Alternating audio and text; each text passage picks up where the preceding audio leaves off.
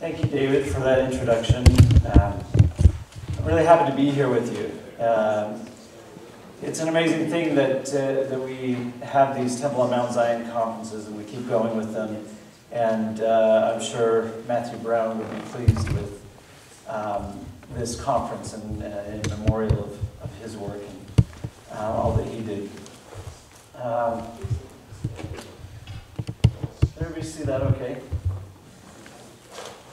All right, uh, I want to talk today about uh, a topic that I've been really interested in recently, and uh, I've talked a bit about this in other forums, so if some of this is uh, a bit of a repeti repetition, uh, a lot of you I know go to a lot of these conferences, and, I appreciate that. Um, so I'm sorry if some of it's been repeated, but I do have some new things to say on this topic. Um, to begin with, I wanted to mention that uh, we hear a lot of stories about individuals that ascend into heaven. Uh, we have the story of Enoch, uh, Melchizedek uh, in the Joseph Smith translation. Um, is uh, we get some indication that uh, he ascended to heaven. Abraham, Moses, Elijah, Isaiah, Jesus, Paul. in the the biblical and also extra biblical, you know, pseudepigraphal literature, we get all these individuals uh, and the, the wonderful uh, stories of them ascending to heaven, and uh, they see God and they're transfigured, and um, these are kind of the, the stories that we hear when we talk about ascent to heaven. Now, uh, Elder Neal A. Maxwell, commenting on some of these, uh, or the experiences of some of these prophets, uh, had the following to say. He said, according to the prophet Joseph Smith, the crucial holy endowment was administered to Moses on the mountaintop. Nephi, too, was caught up to an exceedingly high mountain and was instructed not to write or speak of some of the things he experienced there. So we get this idea that, um, you know, as Latter day Saints, maybe there's some kind of comparison that we can be making between the experience, experiences of these prophets and uh, what we're doing in our own temple experience.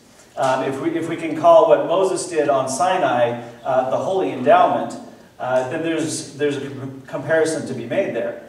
Um, however, when we think of the temple and we think of our experience in the temple, um, we're often thinking of groups. We're thinking of our family. We're thinking of uh, the family being sealed. Um, we think of a congregation uh, or a larger group of people um, doing uh, the temple ordinances.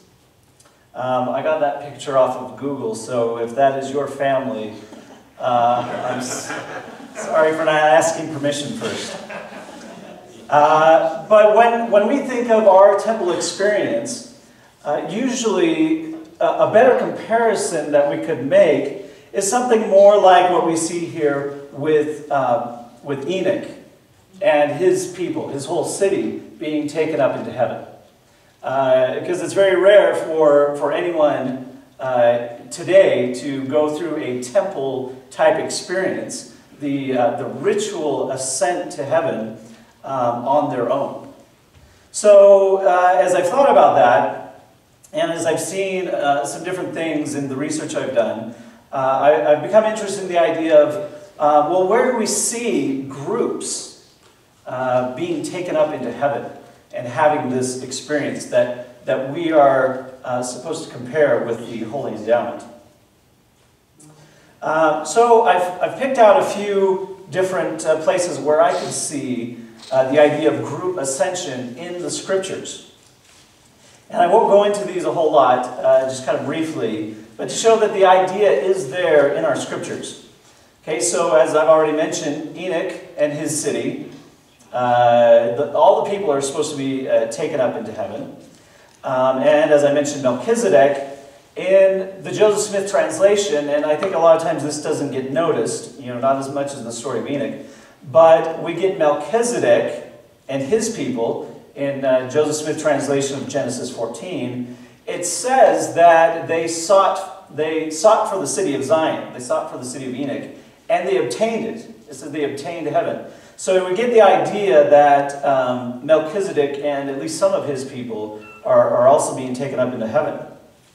Um, we get the story in Zechariah chapter 3 of Joshua the high priest, and it talks about his fellows that are with him. I'm going to go into that a little bit deeper uh, as, we, as we go on. You might not be familiar with that story, so, um, so I'll explain it a little bit better. Uh, we get the three Nephites, three of them together, being taken up into heaven and uh, you know, seeing things that they couldn't, um, they couldn't write or they couldn't speak about. Um, as has been mentioned before uh, in this conference, we have the, the story of Moses, uh, Aaron and his sons, and the 70 elders of Israel. Okay, now, of course, they're just going up the mountain, but uh, as we talked about, um, you know, this experience of going up the mountain and meeting God, um, as Matthew was talking about, uh, this is a, an ascent to heaven type experience. Um, and so we get this large group, you know, 70 plus people, uh, ascending and seeing the Lord. Uh, Peter, James, and John, their experience on the Mount of Transfiguration has been compared to the endowment as well. So we get the three of them uh, following Jesus up the mountain and uh, having this experience. Uh, and then one that I'll talk about a bit more in a bit uh, the church or the believers in Christ um, are supposed to ascend to heaven following the example of Jesus uh, in the epistle to the Hebrews in the New Testament. Um, so we see the, these examples are there, but uh, they don't get talked about a whole lot. And so I want to explore the idea uh, a little bit more. Um, a couple of other examples that you may not be familiar with uh, that talk about groups ascending to heaven. There's a story called The History of the Rechabites. Uh, this is an early Jewish text. Some people uh, kind of debate whether it's uh, Jewish or Christian or uh, Jewish with Christian influences or, or, what it is. But it's a very interesting story about um, a, a, group of people uh, called the Sons of Rechab uh, who lived, um, I think, just before the Babylonian conquest. And um, they were being uh, pressured to break the covenants they had made. They they made very strict covenants with the Lord and uh, were very obedient to these covenants, but they were being pressured by the king to give up these covenants and to, uh, uh to conform to the standards of the time. Uh, well, they refused and they were threatened with death. And so uh, what happened is the whole group of them, all of these Rechabites, um, were taken up into paradise. And there's a man called Zosimus who's allowed to, uh, to go up to paradise and see them there, and they're living there. It's a very, it's a very similar story to the story of um, the city of Enoch being taken up. Uh, and so that's, that's a very interesting story as well.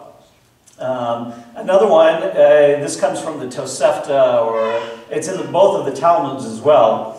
Um, there's four rabbis that were taken up into paradise. And they're taken up together, and um, three of them kind of are, perish or are injured along the way. And one of them is able to go through peacefully and return home peacefully, Rabbi Akiva.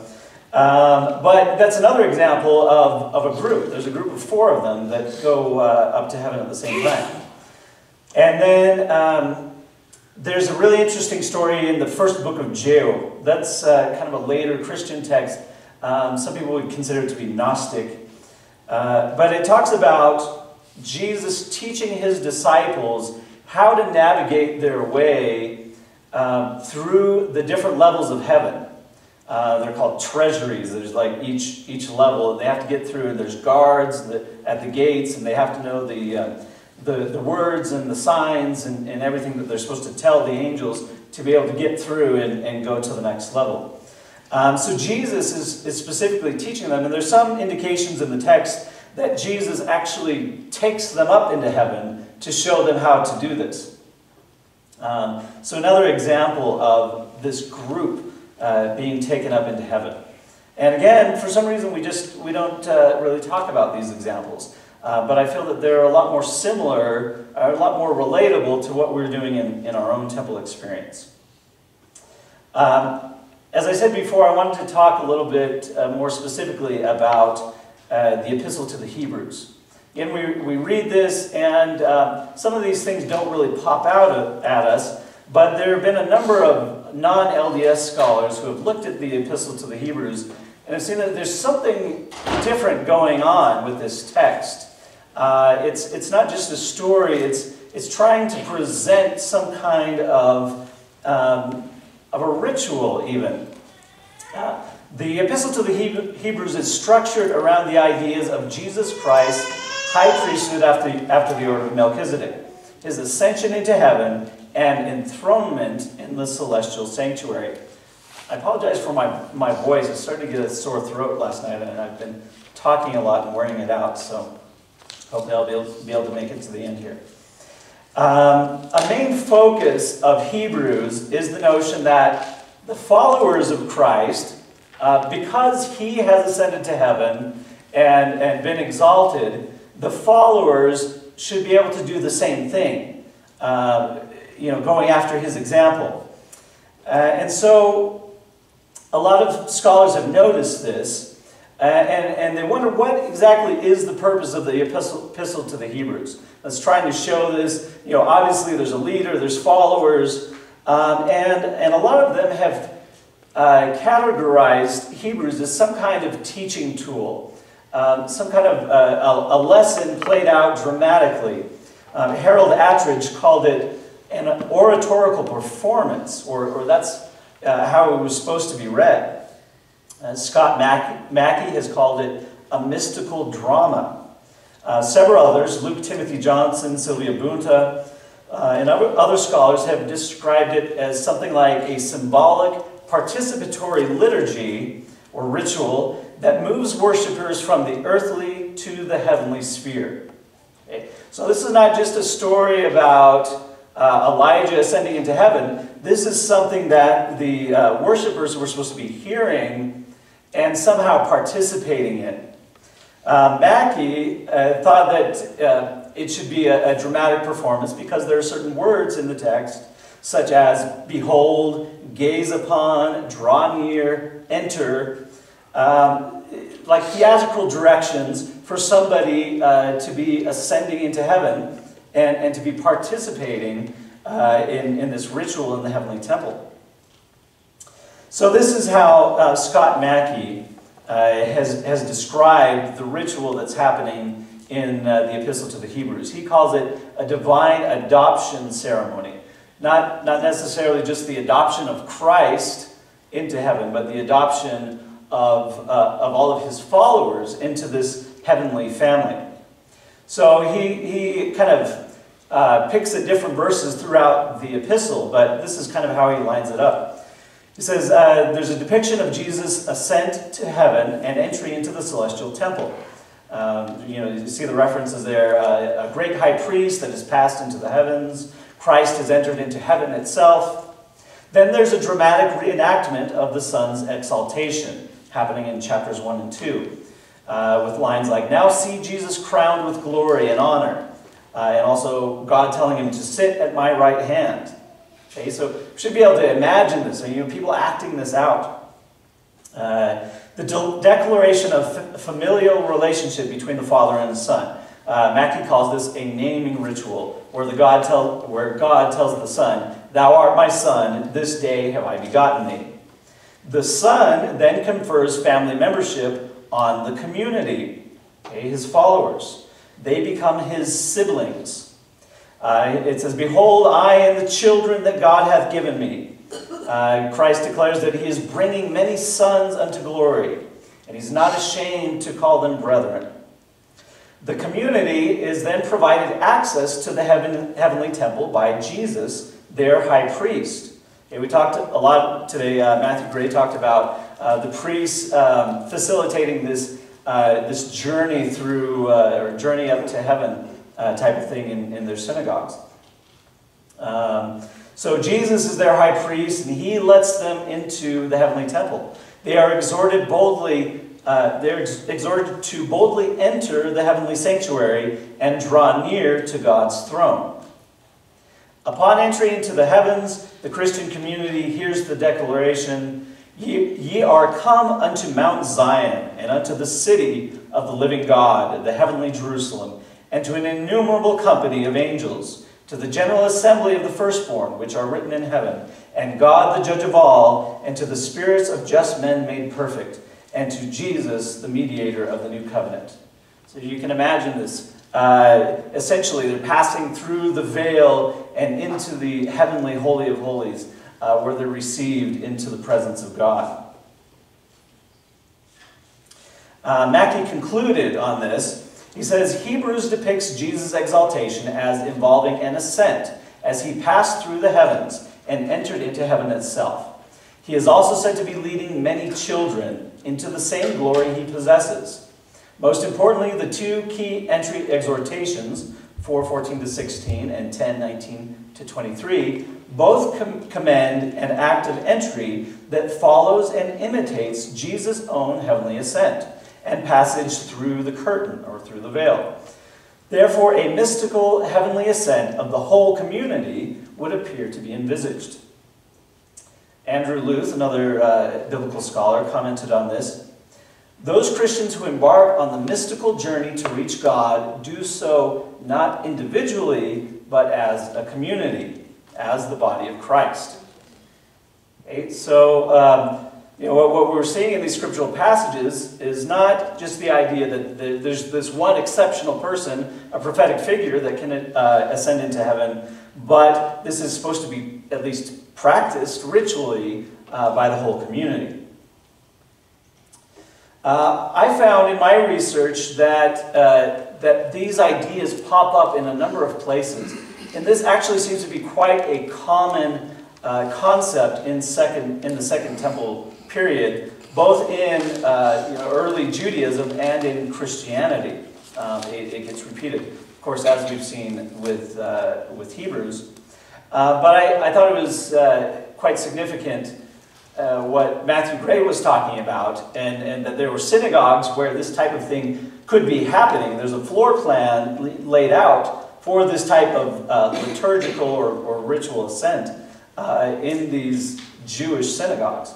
Um, so uh, I'm looking at a period that's, you know, perhaps a few hundred years earlier than, than those uh, synagogues, but um, we're seeing it here in the text that they're describing the, these same types of things.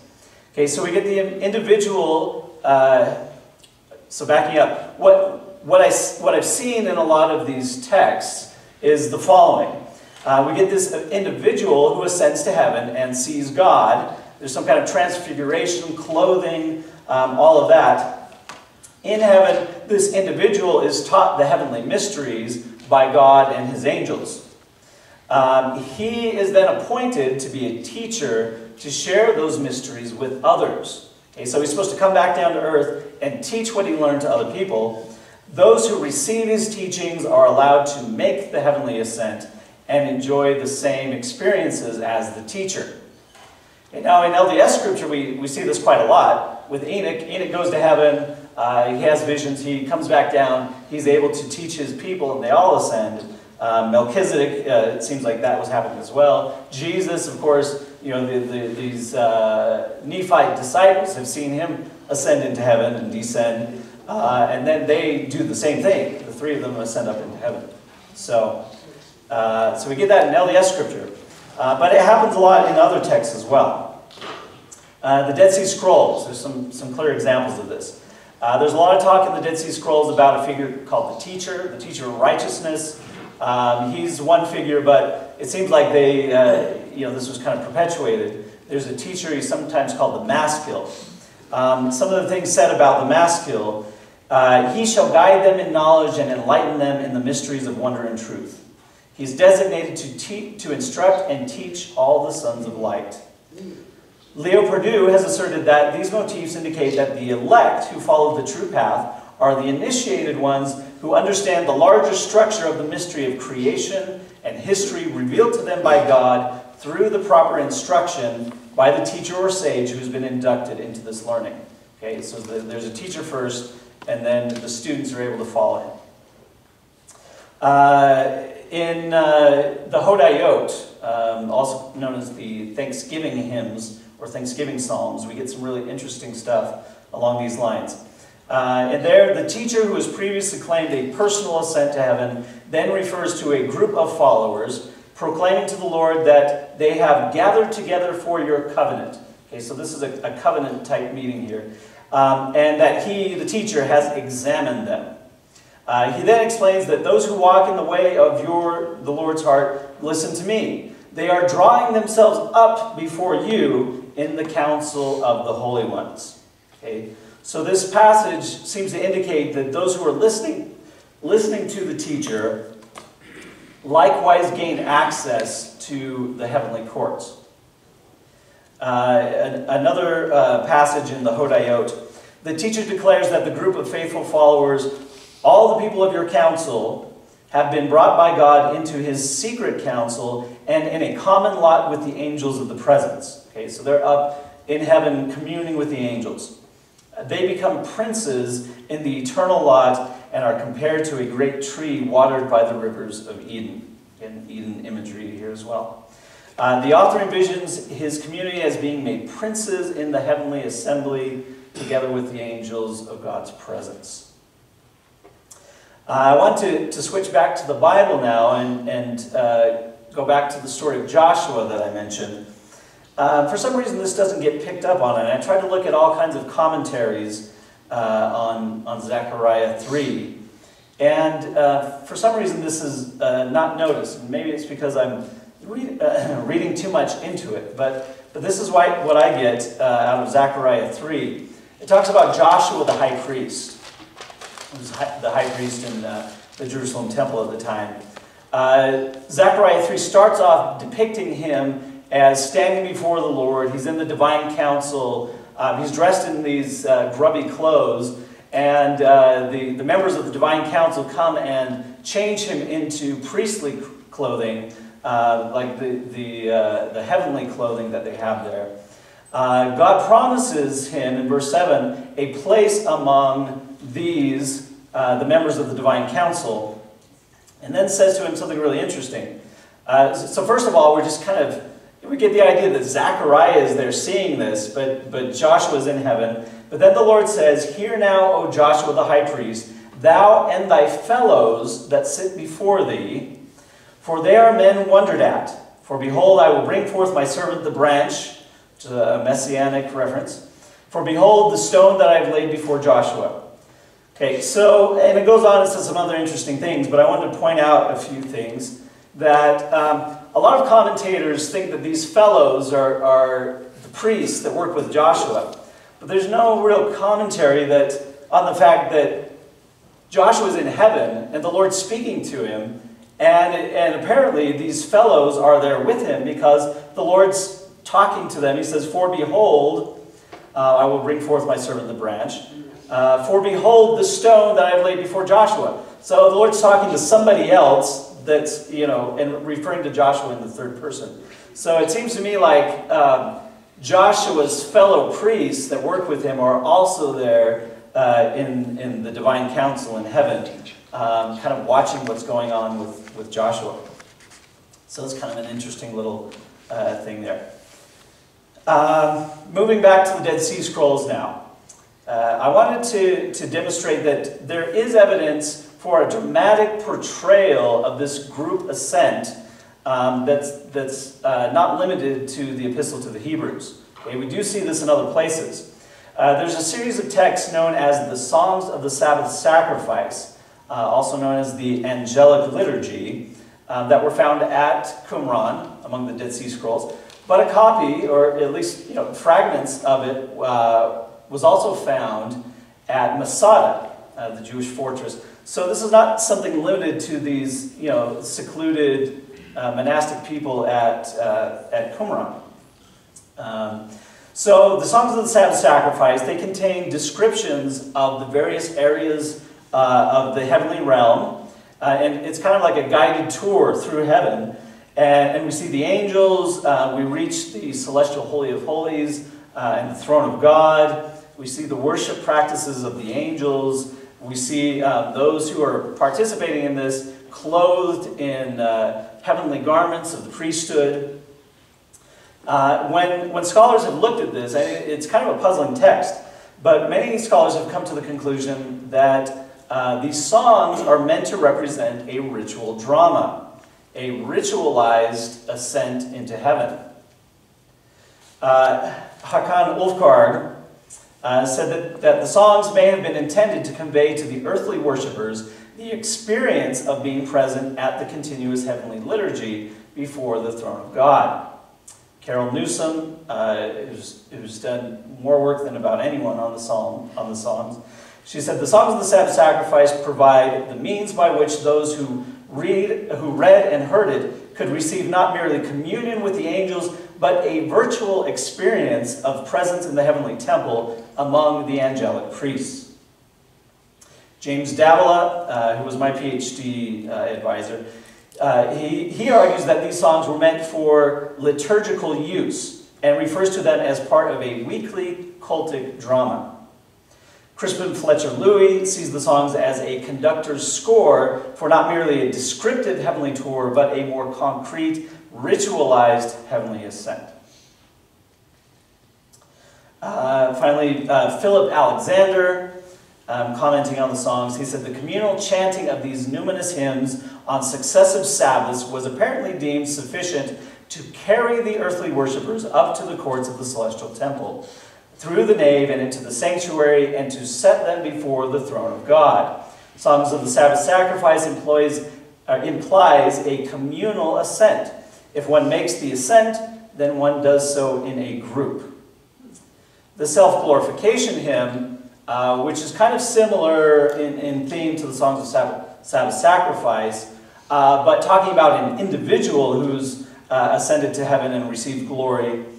Um, the self-glorification hymn, however, seems to imply that some individuals within the community, like Enoch and Levi and other great spiritual heroes of the past, had made the ascent on their own.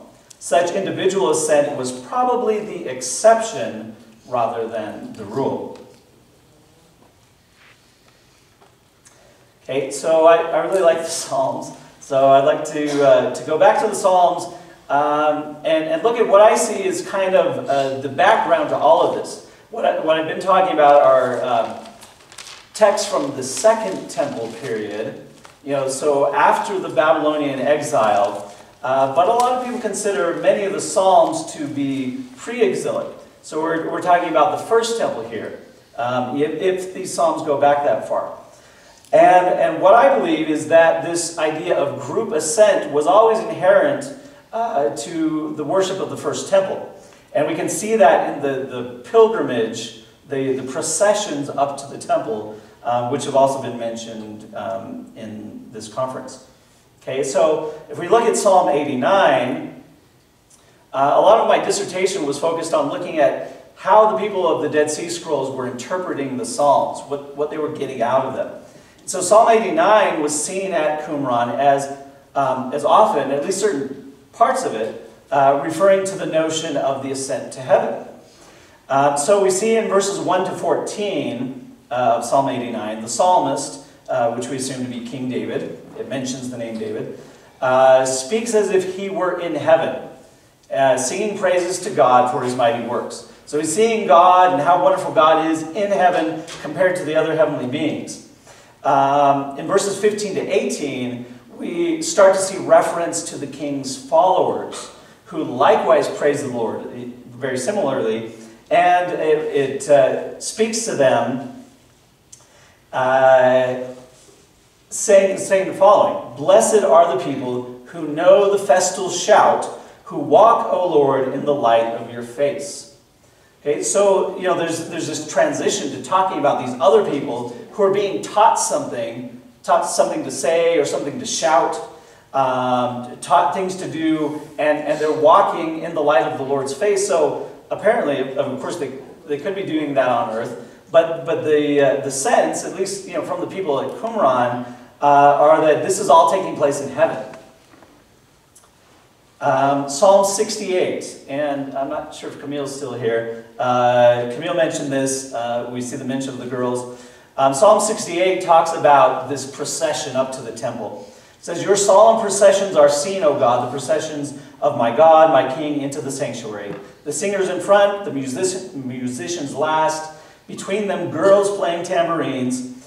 Bless God in the great congregation, the Lord, O you who are Israel's fountain. Uh, and then it talks about the tribes, you know, each tribe uh, in the procession going up to the temple. So we get the, the idea here that, that this, you know, if, if the uh, procession to the temple is meant to represent an ascent to heaven, we've got these whole big groups going together. This, this is not an individual thing. Uh, also in Psalm 68, we see them describing uh, the idea that the Lord is with them. Uh, with mighty chariot, twice 10,000, thousands upon thousands, the Lord came from Sinai into the holy place. Okay, so they're reenacting this thing where the Lord's going with them. They're following the Lord up to the temple. Um, Psalm 47 describes this as well. The people are clapping, shouting, singing, because God has gone up, alah, he's, he's ascended, with a shout, the Lord with the sound of a trumpet. Okay, the people are just following right along. Uh, Psalm 84, it describes, I won't read the whole thing, it describes them wanting to be at the temple, going along this procession um, uh, along the way, um, uh, the highways to Zion, it describes. Um, another thing I wanted to point out here, and sorry I'm rushing a bit, I've been notified that I don't have much time left. It mentions they will go from power to power until they see the God of gods in Zion. Okay? And that's kind of my translation uh, based off the Septuagint. But there's this idea that, that these people in this procession are going from, from one level to the next, and their goal is to finally see God, uh, to, to meet God, as Matthew was talking about, uh, in the temple. Um, the interesting thing about the word power here, uh, it's the Hebrew word uh, chayil, which is actually related to, um, I just thought of that when, when Camille was talking, it's related to the word hul, uh, the dancing, the circle dancing that I was talking about. So I'm not really sure what the connection is there, um, but somehow there's, there's, a type of dance going on, but also the word chayil um, can mean uh, an army, it can mean the captain of, an, of the army, it can also refer to the hosts of heaven. So what I get out of that um, is that these people are moving from, from one angelic guardian to the next in, until they finally see um, the God of gods in Zion. Um, and, Psalm, and just to go off of that, Psalm 118, also Psalm 24, I won't go into them, but they both talk about going through the gates, gates of the temple. And they talk about there being a leader, like Psalm 118. There's this leader, the, the one that comes in the name of the Lord. He requests for the gates to be open. And he also talks about the righteous. We brought up the righteous as well before. The righteous are supposed to go through the gates with him. And then Psalm 24 is kind of like that as well. They're going with uh, the, the King of Kings and uh, uh, the Lord Yahweh through the temple gates. So, just some concluding thoughts. There's some really interesting similarities between what we see going on in the temple, where we get uh, described these processions up into the temple, and, and what goes on in the later texts in, in the Second Temple period, you know, with Joshua the high priest and, and the thing, you know, the ideas at Qumran with the leader and, and him bringing up his followers into heaven. And, and we get that all the way into the New Testament with Jesus and, uh, and Hebrews. Um, I was recently uh, informed that the Orthodox Church, they consider their liturgy, um, the example was brought up uh, of the Eucharistic Assembly, um, they see that as, as the group participating in a, an ascent to heaven to, uh, to be in the presence of God. So somehow this, this idea has been with us all this time. Um, from, from way back in the Psalms in the First Temple period, um, all through you know, uh, Judaism and Christianity, and, and we see so many parallels with our experience in the temple uh, today, that we can be together as a group, um, progressing and moving into the presence of God. Thank you very much.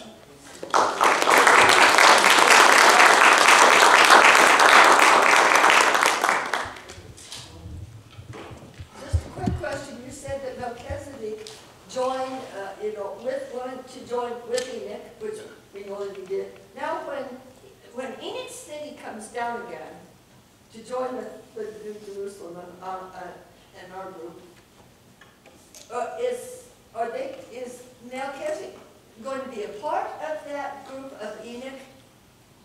That's, that's a great question. And we don't ever get any other mention of it besides that little bit in the Joseph Smith translation. But I would assume that anyone that goes to the city of Enoch would come back with it. I mean, that would be my assumption. But, uh, yeah, good question. Right up there? I was also thinking with the circles, I was thinking like the, doing the, Hajj in, in Mecca. Would that think of similar, something similar, like moving circles and stuff like that? Yeah, excellent. I, I think that's a great example and uh, uh, something that's definitely been carried on into that tradition. Um, when, when you mentioned that, I, I remember that um, Donald Parry has described, there's, um, there's a part in uh, Psalm 24, I think ver- verse 4 or so, that talks about the generation that's going to see the face of the God of Jacob. Uh, Donald Parry said that that word, generation, should actually be, tran- be translated as circle. So this, it's this circle that's going to see the face of God. Uh, so th- there's definitely something going on there. Thank you. It- Yeah, I would, I would just, real brief comment, uh, the Archegos in Hebrews, it's the title of Christ, and he's, you know, leader of, uh, the company or event. It's interesting that the saints, when they originally, the, the Nauvoo temple was organized in companies, you know, in terms of thinking of the westward movement of the, of the saints. The other thought was, um, Revelation, when John talks about having the new name written, you know, on the, those who overcome. We got the, you got New Jerusalem written on them as well, and that suggests a collective. I mean, because naming somebody a city suggests that, they're a part of that. Yeah, very good. I appreciate that. And Hebrews does go into that, that, I mean, this is definitely, you're, you're going as a group to be a part of the city, you know, and uh, so I, yeah, I like that. Thank you. Well done, David.